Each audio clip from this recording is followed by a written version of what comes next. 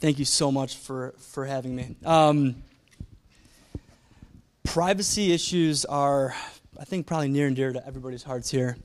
Um, I'm going to share a little story with you. So, a couple, so, okay. My daughter has been obsessed with Lady Gaga ever since she saw the, the, uh, the show at the Super Bowl.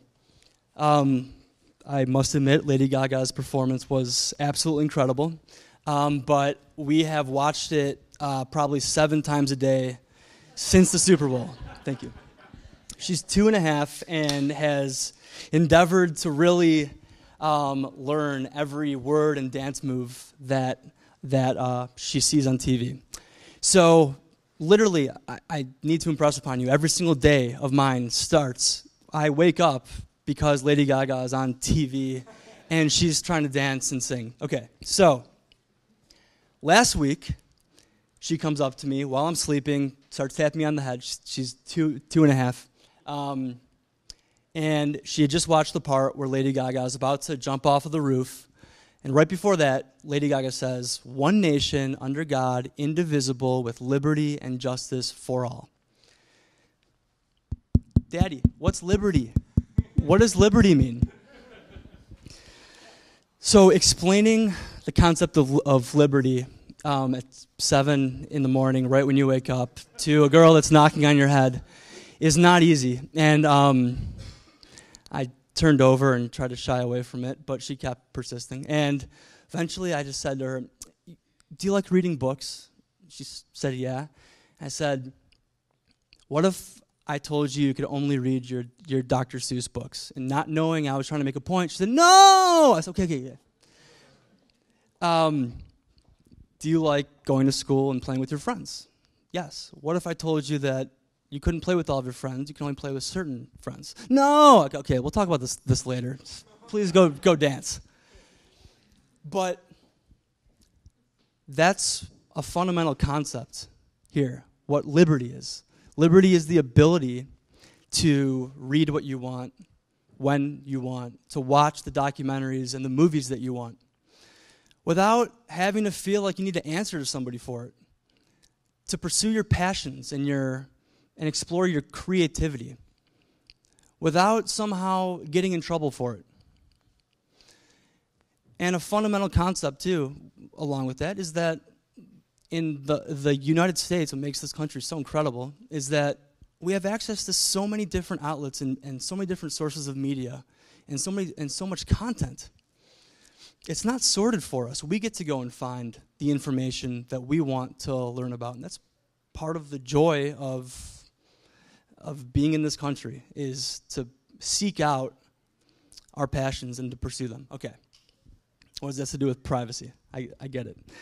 Um, Here's the thing we all know that we have constitutional protections, that we are free to buy and watch the movies and the books that we want to. We're free to associate with whoever we want to. We're free to organize on Tuesday nights and demand better access to, to government uh, documents that actually belong in the public space and better access to, to them. Um, and, and, and that's great. And the Fourth Amendment and the First Amendment prevents, well, it's supposed to stop cops and the, and the government from knocking on our door and busting in at night or at 4 in the morning to see what's on our shelves, to see who we're talking to, to see who we have over. But something that a lot of people don't consider is that the Fourth Amendment only applies to the government and to police officers. Companies are not required and, and don't give people the same protections that the Constitution requires that government gives us. And that's a big thing. It's a big thing when it comes to liberty. Because while the government might not be the one that's spying on us, there are plenty of people that are and are actually exploiting us and our information and our habits and behaviors in ways that not even the government could, could imagine. I'm not talking about all companies. I love, I love technology. but there, there, there are some, and, and there's more than, than you would think. Um, we're, we're living in an age now where everything that we do is recorded. Um, you walk out of your house, you walk past your nest, your nest knows that you're now not home. It's recorded. You carry your smartphone around all day. Your smartphone is a quest- questionnaire that you are constantly filling out and that is constantly providing somebody insight into who you are as a person. Your smartphone tracks you throughout the day, where you go, to the gym, to the doctor, to school, uh, to, drop your, to drop your kids off at school. Um, the problem is, is that people don't know it, and even if they did, what are they going to do about it? So, dealing with the first first question first, um, people don't, or the first issue first. People don't know what's going on. So, I I work at a law firm called Edelson PC. Um, we basically make it our job to figure out what the heck is going on out there. Um, we're living in an age of interconnected devices, and every device is sending off signals to somebody. Um, when you connect to an app, there are dozens of analytics companies that just tapped into your phone and that's recording and transmitting everything that's going on.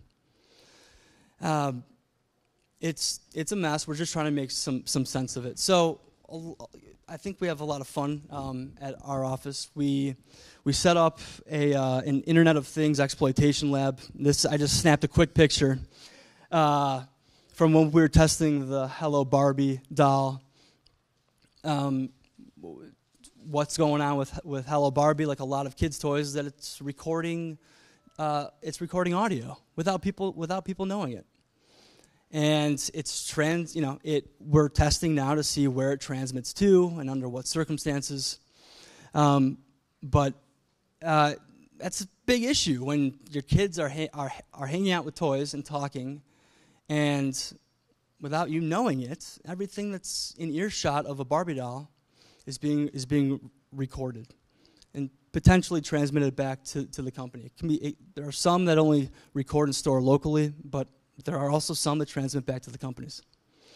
Um, some more of what we do is we monitor web traffic um, and see uh, which websites, which apps are sending data where, and which apps are allowing different companies and analytics companies into your phone without without ever mentioning it to the to the user. I mean, even if you were to read through the privacy policies, these are things that they don't say, that they don't talk about for good reason, because somebody would would notice it and point it out, and it would be a big thing. People would be less likely to use the app if they were conscious about their privacy. Um, we also uh, a little unre- unrelated, but we are constantly testing different types of websites for vulnerabilities. Um, right now, we're on this big kick with uh, medical payment portals.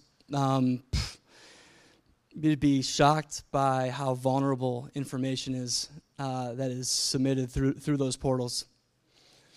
Um, so, to give you just a quick uh, sense of kind of what, what we do. I just I did this before I came here. I just went to a website, a, a news website. I mean, you know, look, th- there are certain types of information that companies love to have about you because certain types of information give great insight into your soul and, and who you are as a person. Um, the types of movies that you walk, that, that you watch, types of books that you read, speak to who, who you are as a person. I, I mean, right now, there are in custody cases across the country. The uh, the the movie histories of people are being introduced to try to make a case for why somebody has a propensity for violence or for you know or is more dangerous than, than somebody else. You can get real data points from these types of uh, from that type of media, uh, and another type of media that is increasingly becoming more and more relevant is news and the type of news that you consume and that you view, and the types of uh, news sources that you go to. So, here's just a, a, a, quick example. I went to CNBC. I'm not trying to pick on CNBC. Um, and I just I watched this video about tax season. Okay, so nothing else was open on my computer.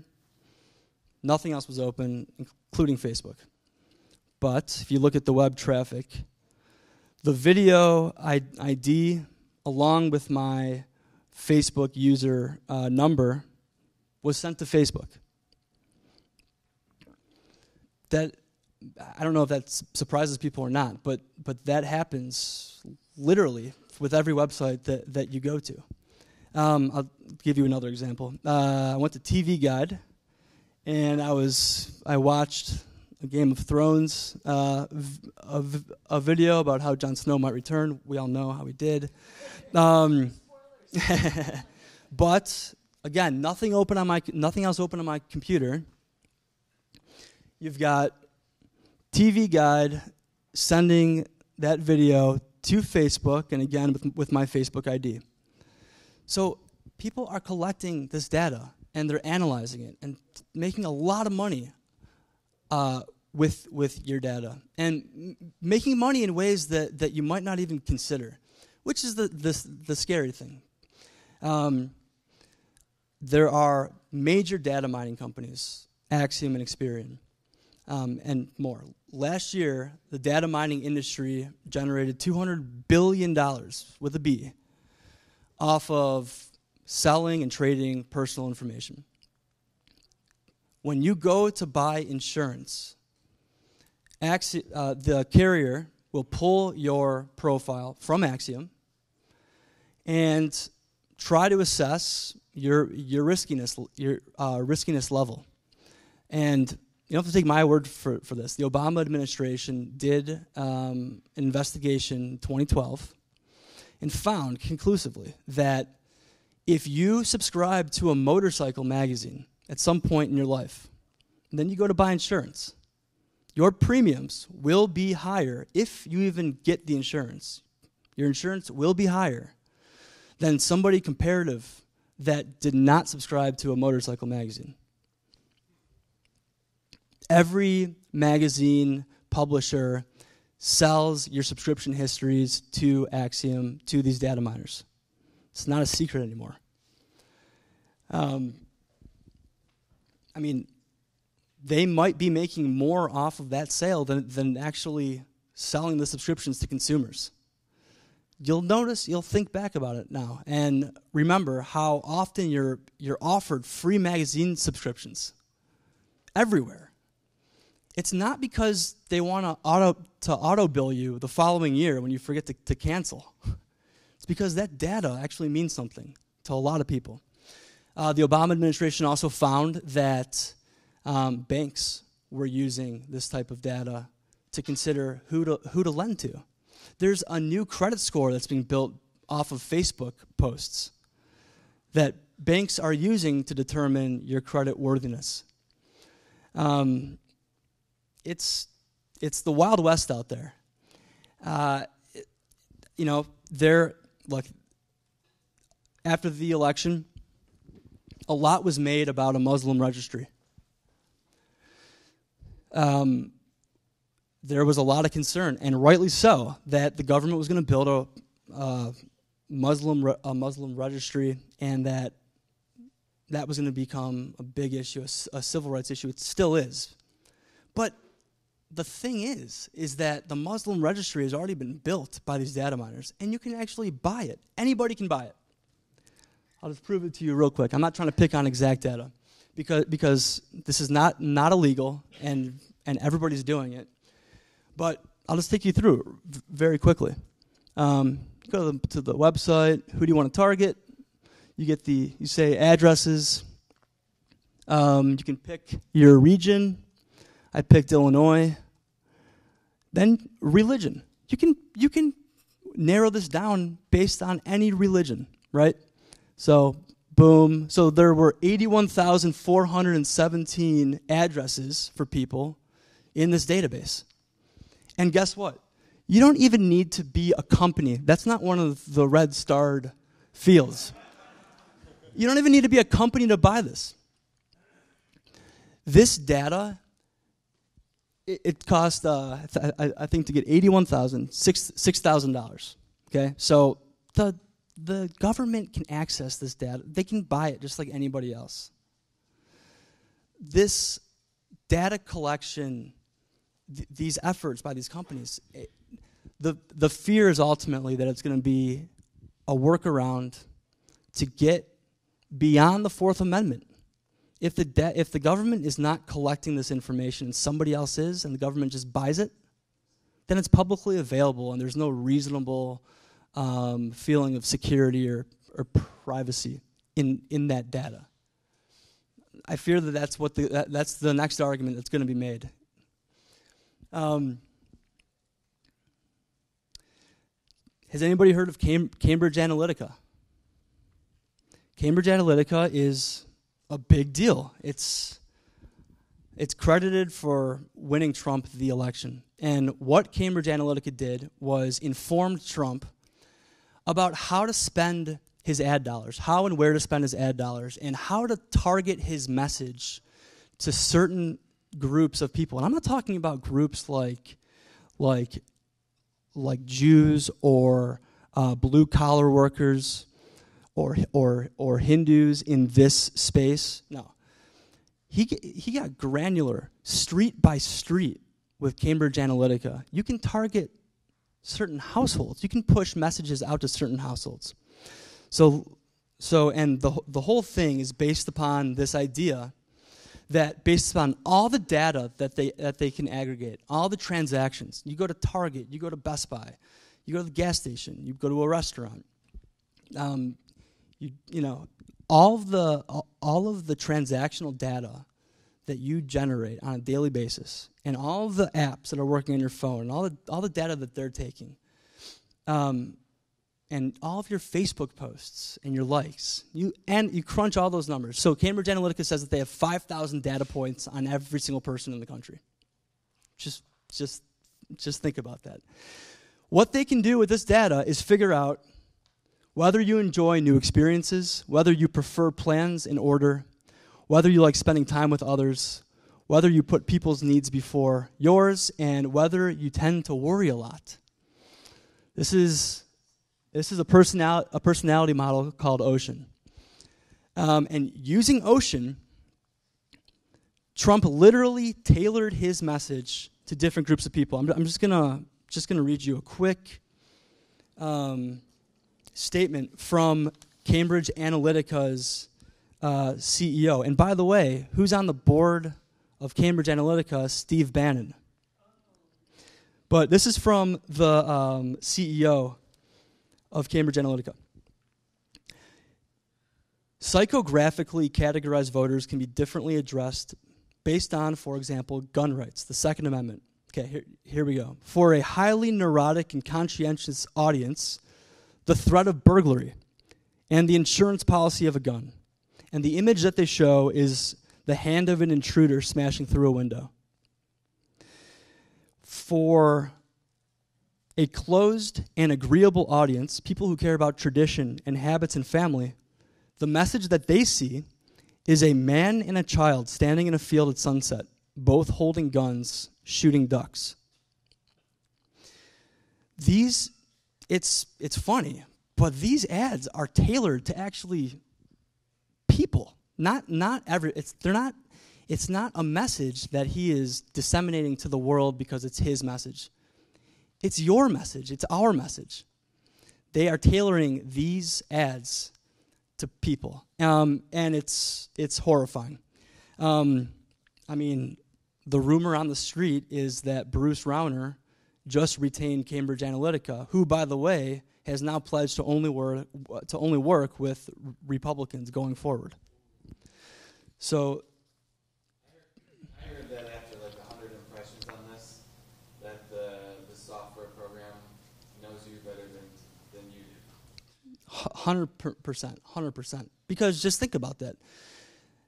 You you might not want to admit all the things that you know about yourself, right? you you look past some things. You think that, you know, my wife says I communicate horribly, so I'm really sorry for everybody sitting here today. But she um, she she tells me that I need to express myself better, and I say I'm expressing myself. Okay, Cambridge Analytica actually assigns a score to how well you express your, yourself. It's a it's an entire comprehensive personality test um, that you don't know is actually being conducted. You're, uh, you're a patient in an experiment, and you don't know it, but the results are used against you. Yep. Some of those um, free Facebook personality tests that you mentioned oh, yeah. are actually Cambridge Analytica tests. And so, yeah. You don't even know when you click the, you know, by agreeing to this, right. whatever, they, right. they do a personality test. So, some of you probably saw personality tests for which Star Trek uh, which Star Trek char- character are you? Right, some head shaking. Or oth- others might have seen which Game of Thrones character are you? Or which Star Wars character are you? the other brilliant thing about it is that they actually tailor the tests to people specifically. So not not everybody sees the Game of Thrones test. You see the Game of Thrones test if you're most likely to respond to it, if they think that you're going to respond to it. Um, so, where does this all leave us with privacy and the, law? So, it leaves us in the beginning because right now, there is, in the United States, there is no privacy framework.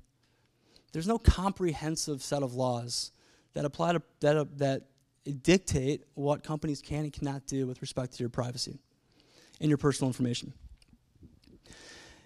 things, when things come up, the government deals with it. So, to give you a quick example, uh, in 1988, there was a very contentious Supreme Court hearing, uh, a very contentious Supreme Court no- nomination hearing.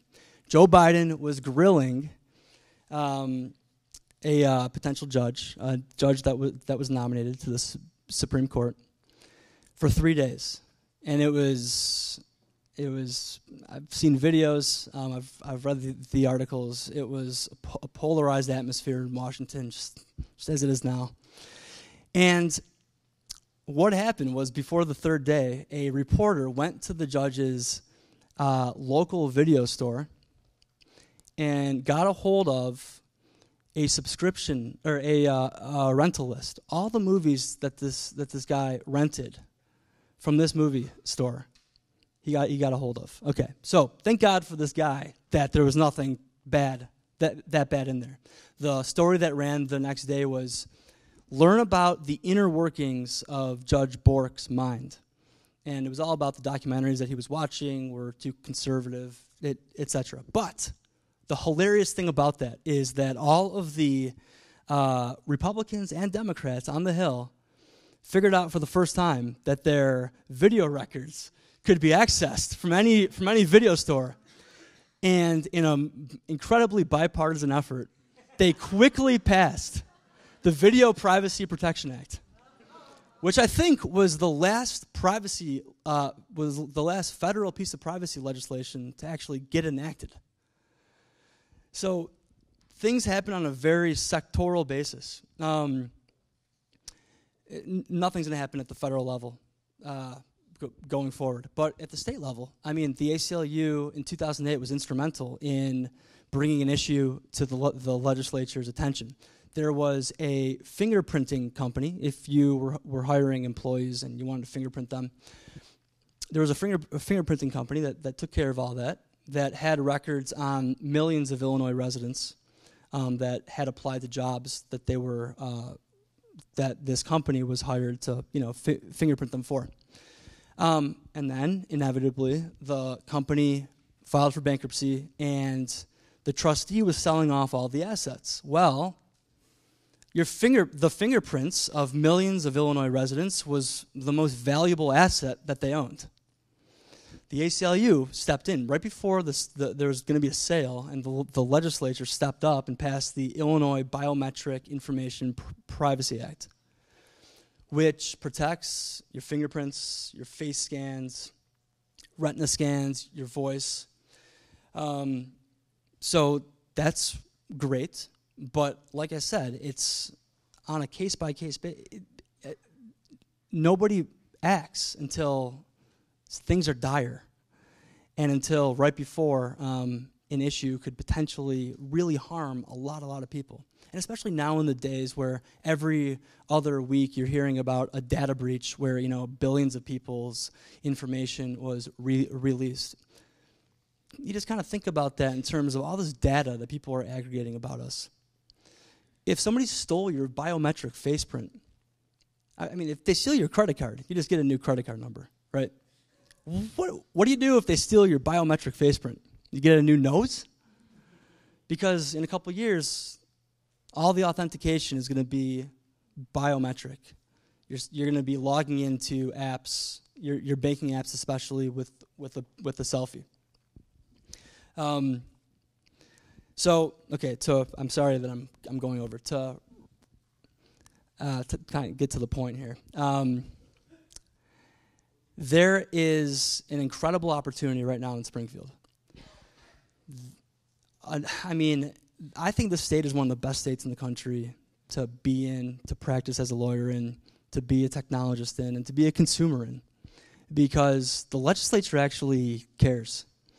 And the legislature wants to hear from technologists about these issues um, they created a whole committee in the House called Cybersecurity, Data Analytics, and Information Technology. It's the first committee in the country that's dedicated to investigating and learning about these privacy issues and these col- collection and disclosure issues. Um, so, right now, there's an immediate need for people to share their expertise. Um, with, with lawmakers. And, and specifically, there's been three bills that were introduced by really sophisticated uh, representatives and senators. One says that um, it's a geolocation bill that says that you cannot collect geolocation information from somebody's phone without their consent. I, I don't know, seems pretty common sense. There's one that says that you cannot access the microphone on a person's device. You can't turn it on without their consent. And consent is just telling them that you're doing it and then pressing a button. And then there's a, a bill that would allow consumers to ask companies that they give their information to who those companies are selling their personal information to. Um, if anybody's interested in learning more about how to get involved in Springfield, please come talk to me after. I'm, I'm, I'm going to hang out for a couple hours. Um, there's a lot of very interesting opportunities to even sit down on, on a one, one-on-one basis with a lot of these lawmakers and explain things to them in ways that they are not getting right now. Because in Springfield, there are lobbyists. And if you have a lobbyist because you're a special interest group or you're a company – then you have access. And I'm not, not I'm, I'm making a generalization, but they want to hear from you. They want to hear from people that are actually in the know on how this stuff works. Um, actually, tomorrow there is a hearing downtown at the Bilandic building. Uh, I think it's on LaSalle. Um, it's going to be the first hearing on uh, for the Cybersecurity Data Analytics and IT Committee, and the subject matter is privacy and transparency implications of new and emerging surveillance and data collections technologies. Going to be a super interesting uh, hearing. Um, I don't know if anybody knows Alvaro Bedoya from the Georgetown Center for Law and Technology, but he's coming in to testify. Um, there are some technologists that will be testifying. I think the Attorney General and the Sheriff's Department will be testifying. So um, if you can make it, it's open to the public. It will also be webcast live. Um, and if you're, and we just don't have the link yet, but I'm happy to circulate it to anybody that's interested in, in tuning in. Thank you for, for having me.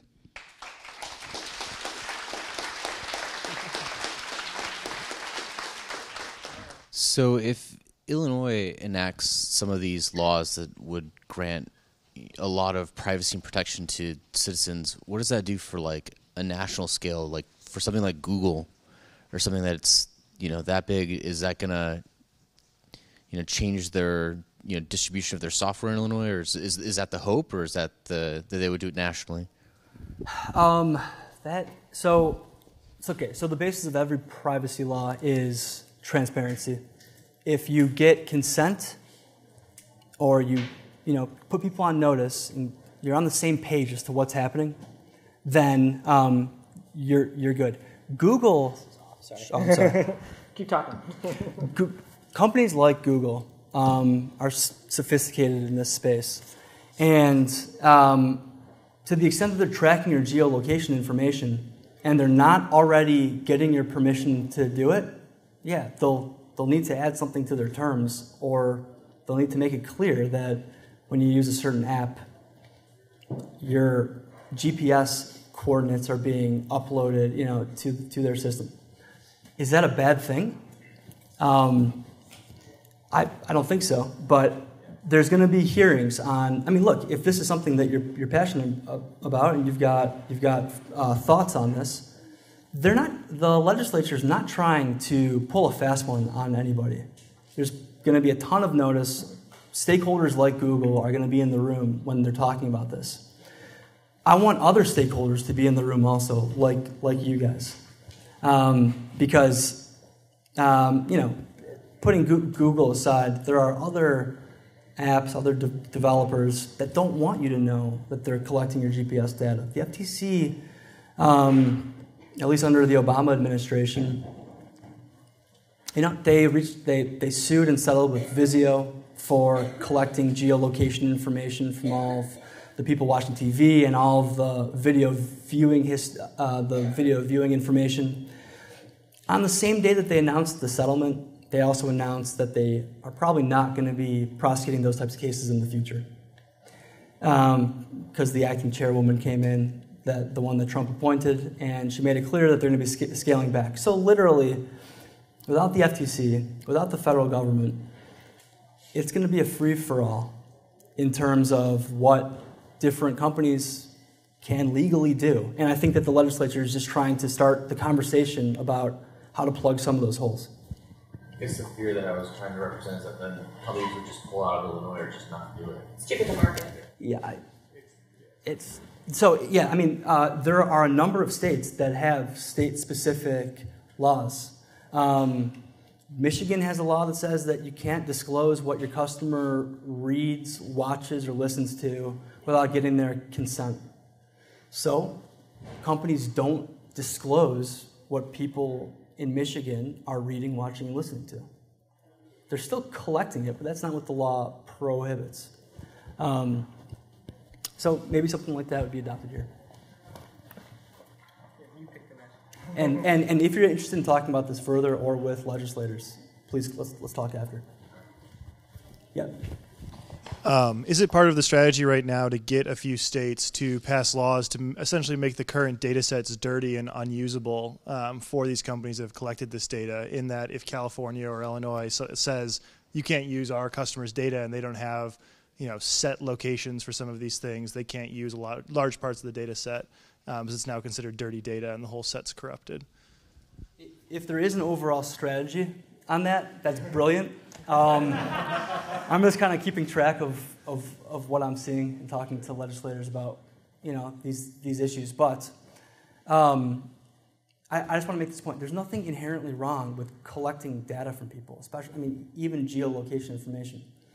Uh, I think there's a, divi- a digital gap in what the average consumers understand versus what you know the Silicon Valley folks are doing, um, and they're making a lot of money off of this data.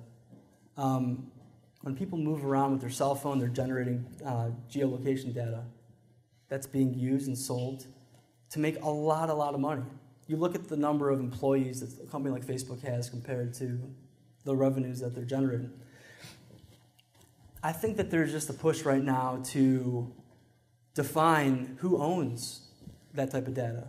Do you own the geolocation data that you generate when you walk down the street?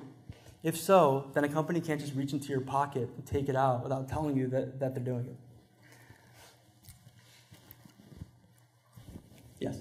Uh, a lot of times we sign, sign terms and terms and agreements or whatever you want to call it, uh, terms to to any kind of software you download. Uh, if it has it, whatever you're asking for in that terms, in those terms, and you've you've accepted the terms because you wanted to have the software, and you had no opportunity to negotiate, uh, are you are you just sunk? Well, it's not that you're sunk. It's that if you actually put it into the terms, if you put into the terms what you're doing, that you're sell, that you're col- collecting this type of data, that you're selling it or sharing it with different people, even though it's buried in terms and conditions, that comes out. When Instagram a couple years ago wanted to modify their privacy policy to make changes so that they could be, start sharing data with a ton of par- dif- different partners, people that whose job it is to read these these updates to the, to the privacy policies read that, made a big deal out of it. The public made a big deal out of it, and Instagram had to dial it back and did not actually end up doing what they said they were going to do. They reverted to their old privacy policy. So it's, I, I mean, from my perspective, um, there's nothing wrong with doing it if you're just transparent about it. It's all about giving consumers choice and leveling the playing field. I mean, this issue comes up with startup companies also, because there's a lot of startup companies that, that we talk to that don't want to cheat on privacy, but they can't compete at the same time with the companies that are. So they're proponents of these types of laws, you know, just as much as consumers are. Does that answer your question? Of. I, just have the sense that you, you signed off on the agreement. Uh, you have no ability to check, no, I don't want th- No. this feature. Si- signing off on the agreement, there's transparency there. If you choose not to read the agreement, You, you have to not take the service. oh, I'm sorry. What's that? You can't take the service. It automatically says you, you, you can't take the service. You, you- you have to decline the service. Okay, right. So, okay, so like, so I think Uber is a really good good example here. Okay, so Uber modified their their policies and told people that they're going to start tracking them for five minutes after they get dr- dropped off. They're going to start collecting geolocation data for up to five minutes after they get out of the car. And a lot of people went crazy about that. It's unreasonable. They don't need it. They're just tracking us. They want more data. But my response to that was, but they're telling you that they're doing it. They're being transparent. And now it's now the power is back with the consumer and they can make a choice. Now they can decide with knowledge about what's going on as to whether they want to continue to do to be in business with, with Uber or, or not. I mean, Uber's a phenomenal uh, company, and I mean, just in, just just in terms of making it easier to sorry to making it in terms making it easier to, to, to get a cab. Okay, a lot of people, like myself included, have moved to, to Yelp. There's a huge movement online about people that have moved over to Yelp. Um, but people had that choice now that Uber was forthcoming about the types of data that they were co- co- collecting from people. I think we have time for one last question. Sure. Uh, was wondering, so talking about um, political campaigns and the use of analytics in those, um, I was wondering. Uh, so I know Cambridge Analytica also was for the worked for the Cruz campaign and for and like the Clinton and Obama campaigns also used a lot of data. Um, I was just wondering, like, do you see this as something that that does give an advantage to like one set of political values or a political party, or is it just something that's like part of the landscape of how politics works now? Yeah, well, I don't know enough about what the Clinton campaign did. Um, certainly, there's not a mu- as much out there as there is with Cambridge Analytica. Um, I do think that this, that using personality tests especially, lends itself to a certain party, um, especially when you get into things like gun rights and the really thorny issues that you need to be ex- extremely careful about when crafting messages. Um, the ability to craft a different message for every person sitting in this room and to push it all out and to somehow be consistent or appear consistent is mind blowing. Um, we'll have to see what, what happens in the coming in the, the next election cycle. But there's there's not a lot of data out there right now about everything else besides that, uh, besides Cambridge and, uh, and Analytica. I'm sure that there are other platforms, but we just don't know about them yet. All right. Thank you, Ari. Okay, thanks. Thanks so much for having me.